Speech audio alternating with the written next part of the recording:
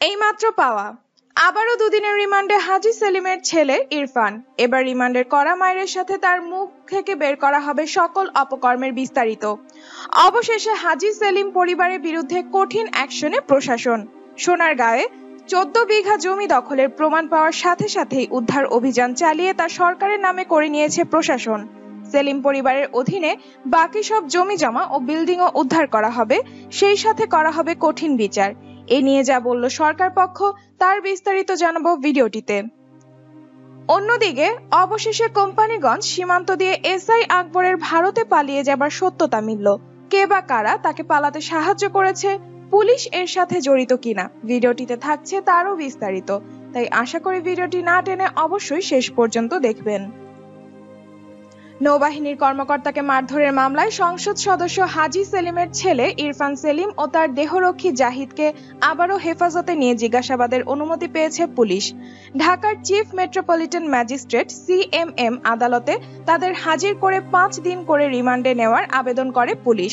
শুনানি শেষে ম্যাজিস্ট্রেট জিয়াউর রহমান প্রত্যেককে দুই দিন করে রিমান্ডে নেওয়ার আদেশ দেন। এর আগে একই মামলায় ইরফান ও জাহিদকে তিন দিন করে রিমান্ডে নিয়ে জিজ্ঞাসাবাদ করে পুলিশ। সম্প্রতি রাজধানীর ধানমন্ডিতে ল্যাবেইড হাসপাতালের সামনে ইরফান ও তার সহযোগীরা নৌবাহিনীর কর্মকর্তা লেফটেন্যান্ট ওয়াসিফ আহমেদ খানকে মারধর করেন। এ ঘটনায় হাজি সেলিমের ছেলে সহ চারজনের নাম উল্লেখ ছাড়াও অজ্ঞাত দু তিনজনকে আসামি করে ধানমন্ডি থানায় মামলা করেন নৌবাহিনীর ওই কর্মকর্তা। মামলা হওয়ার পর র্যাবের নির্বাহী ম্যাজিস্ট্রেট সারওয়ার আলমের নেতৃত্বে পুরান ঢাকার সোয়ারি ঘাটের দেবীদাস লেনে হাজি সেলিমের চান সর্দার দাদাবাড়ি ঘেরাও করে অভিযান চালায় র্যাব। অভিযানে ওই বাসা থেকে অস্ত্র, আটত্রিশটি ওয়াকিটাকি, বিদেশি মদসহ অবৈধ জিনিসপত্র জব্দ করা হয়। এরপর ইরফান সেলিমকে দেড় বছর ও তার দেহরক্ষী মোহাম্মদ জাহিদকে ছয় মাসের কারাদণ্ড দেন র্যাবের ভ্রাম্যমাণ আদালত। মাদক সেবনের দায়ে এক বছর ও অবৈধ ওয়াকিটকে রাখার দায়ে ছয় মাসের দণ্ড দেওয়া হয় ইরফানকে। দেহরক্ষীকে অবৈধ ওয়াকিটকি শহর রাখার দায়ে ছয় মাসের কারাদণ্ড দেওয়া হয়। ইরফানকে নৈতিক স্থলনজনিত অপরাধ এবং অসদাচরণের অভিযোগে ঢাকা দক্ষিণ সিটি কর্পোরেশনের ত্রিশ নম্বর ওয়ার্ড কাউন্সিলরের পদ থেকে সাময়িক বরখাস্ত করা হয়েছে। এদিকে ঢাকা সাত আসনের সংসদ সদস্য হাজি সেলিমের নারায়ণগঞ্জের সোনারগাঁয়ের শিল্পনগরী মেঘনাঘাটে অবৈধভাবে দখল করে রাখা মদিনা গ্রুপের টাইগার সিমেন্ট কোম্পানির অভ্যন্তরে উচ্ছেদ অভিযান চালিয়েছে উপজেলা প্রশাসন। এক নভেম্বর বিকেলে উপজেলার পিরোজপুর ইউনিয়নের মেঘনাঘাটে সোনারগাঁ উপজেলা সহকারী কমিশনার ভূমি আল মামুন এ উচ্ছেদ অভিযান চালান। এ সময় উপস্থিত ছিলেন পিরোজপুর ইউনিয়নের ভূমি উপসহকারী কর্মকর্তা আতাউর রহমান ও পুলিশ সদস্যরা। সময় স্বল্পতার কারণে সব স্থাপনা উচ্ছেদ করা সম্ভব হয়নি।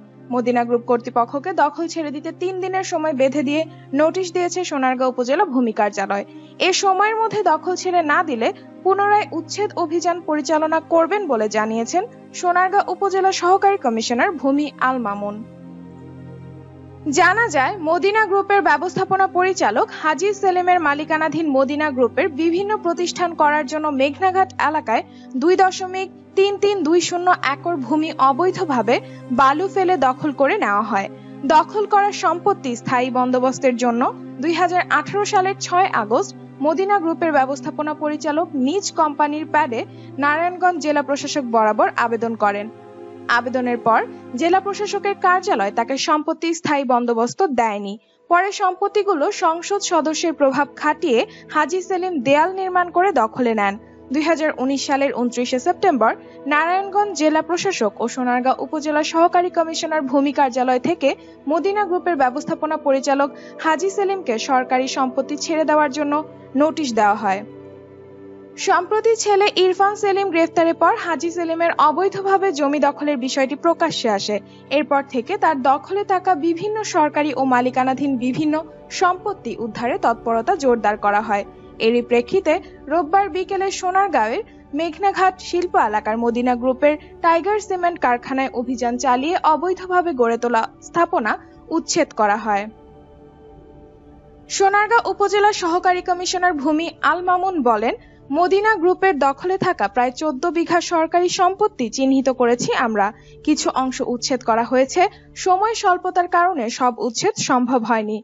মদিনা গ্রুপ কর্তৃপক্ষকে তিন দিনের সময় বেঁধে দিয়ে নোটিশ করেছি। এ সময়ের মধ্যে দখল ছেড়ে না দিলে আমরা পুনরায় উচ্ছেদ অভিযান পরিচালনা করব। এদিকে সিলেটের বন্দরবাজার ফাঁড়িতে নির্যাতনের রায়হান আহমদ নামের যুবককে মারার প্রধান অভিযুক্ত এই ফাঁড়ির বহিষ্কৃত ইনচার্জ এসআই আকবর হোসেন ভুইয়া ভারতে পালিয়ে যাওয়ার বিষয়ে নিশ্চিত হয়েছে গোয়েন্দা সংস্থা। সিলেটের কোম্পানিগঞ্জ সীমান্ত দিয়ে তিনি ভারতে পালিয়ে যান। তাকে সহায়তা করে হেলাল আহমদ নামের এক চোরা কারবারি আকবরের সঙ্গে তার আত্মীয় পরিচয় দানকারী সংবাদকর্মী আবদুল্লাহ আল নোমানও ভারতে পালিয়ে গেছেন বলে জানা গেছে। ইতোমধ্যে হেলালের মাধ্যমে আকবর ও নোমান যে দেশ ছেড়েছেন, তা নিশ্চিত হয়েছে গোয়েন্দা সংস্থা ও মামলার তদন্তকারী সংস্থা police bureau of investigation PBI হেলালকে বাইশ অক্টোবর একটি মামলায় গ্রেফতার করেছে আইন শৃঙ্খলা বাহিনী। এগারোই অক্টোবর রাতে নগরীর আখালিয়ার নেহারিপাড়ার রায়হান আহমেদকে বন্দরবাজার পুলিশ ফাঁড়িতে মারার পর ফাঁড়ির incharge S I Akbar Hossain গা ঢাকা দেন। তেরোই অক্টোবর বিকেলে তিনি এস এমপির তদন্ত কমিটির মুখোমুখি হওয়ার পরই ওই দিন রাত থেকে গায়েব হয়ে যান।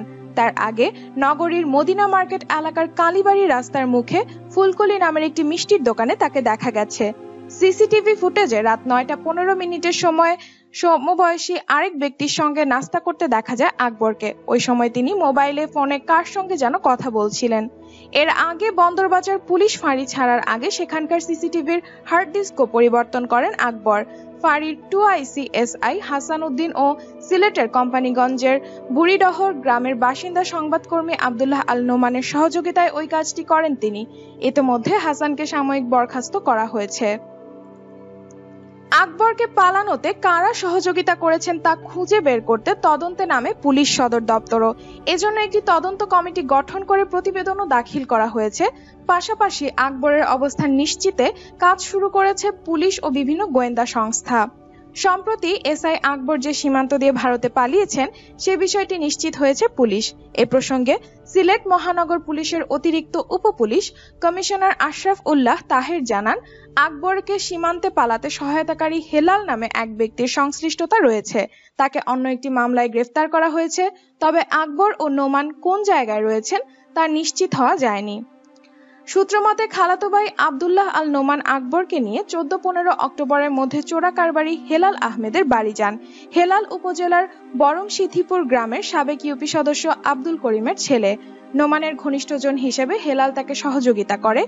হেলাল ভারতের বড়পুঞ্জি বাজার এলাকার আরকান নামে এক খাসিয়া মেয়েকে বিয়ে করেন। সেই সুবাদে ভারতে তার অবাধ যাতায়াত ছিল। সিলেট থেকে পালিয়ে কোম্পানিগঞ্জের কালীবাড়ি গ্রামে প্রথম দিন আকবর ও নোমান অবস্থান করেন। পরদিন মোটরসাইকেলে হেলালের বাড়িতে গিয়ে রাত যাপন করেন তারা।